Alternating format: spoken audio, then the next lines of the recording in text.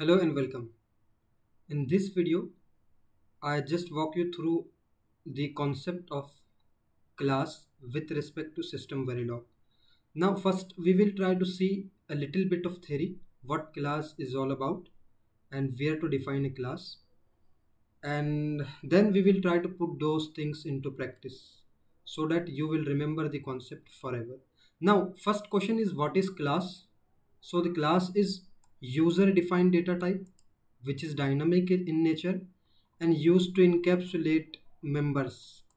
What are members? Properties and methods. We will see these properties and methods. Okay. So let me repeat. Class is a user defined data types dynamic in nature and used to encapsulate members which are like mm, properties and methods. Okay. Now second question where to define a class? So you can define the class in SV inside a program block, inside a module, inside a package or outside of any of these. So you can define a class inside of module, inside a program block, inside a package or outside of this. Okay. Now first we will see how we can define a class inside a module and you take a homework and try to make how to define class inside a program block or inside a package. Okay. Now in this video we will see how to define the class inside a module and outside of the module. Very simple. Now see this is what the module end module. Inside this module i have declared a class abc which contain property. This int a class property. So what class property is? Variable that holds data. Okay and this class method class method can be anything like task or function. As you know tasks and functions are the subroutines. So this is class property and class method. So this class encapsulates this property and method. Okay. Now see within initial begin block i am creating object for this class. Class name and this h1 is the object so what is object? An instance of a class. Okay? Object is instance of a class. And i am allocating a memory. Object is equal to new. This new parenthesis is an inbuilt default constructor which is used to allocate the memory. Okay? Now if i want to access this property and method outside of the class then i need to allocate a memory and we need to define an object for this class. Without defining object we cannot access class properties and method outside of the class. Okay. Now see object dot a is equal to 10 i am accessing and assigning this 10 value to this class property. And object dot display i am calling this method disp which is just displaying the value of a okay. Now you can remove this a here. So you can find a value of a. Okay. So this method is just displaying the value of a.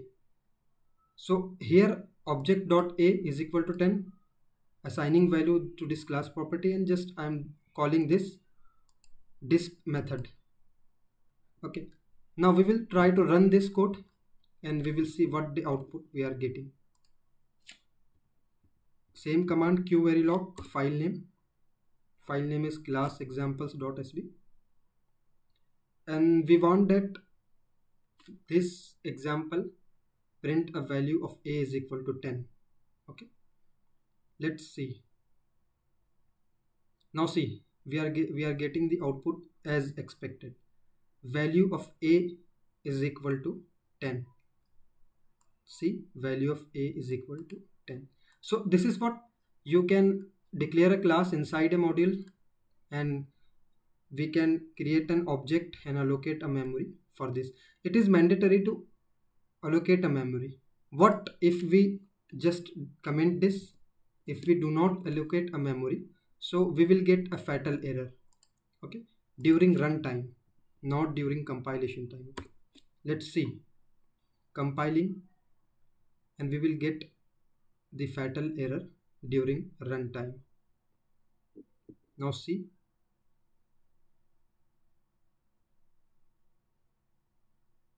As expected we are getting a fatal error which says that bad handle or reference. See bad handle or reference this is what the fatal error. So it is mandatory to allocate a memory for class object. Okay now let's have a discussion on another example. I have written a code in order to save our time. Now see this is what the class I am declaring outside of the module. Same example. Okay. Now this class contain property and one method. This property and method and this method is just displaying the value of a now see outside of the module uh, outside of the module i have declared a class class abc end class inside that class property and method. And inside a module i am creating an object for this class abc h1 and same allocation memory allocation is here. And i'm accessing with the help of object and assigning value 10 and just displaying the value of a. Okay now see we will run a code so what we want? Same result we want. Value of a is equal to 10 okay? Now see the result. Value of a is equal to 10 as expected. Okay? So we can declare a class inside a module or outside of module right and to access class methods and member outside of the class we need to create an object and we need to allocate a memory for that object. So this is what all about class with respect to system verilog how we can define a class where we can define a class what is class and how to allocate memory. Okay. So i hope with this you have understood the concept of class. And also i hope you enjoyed this video. Thanks for watching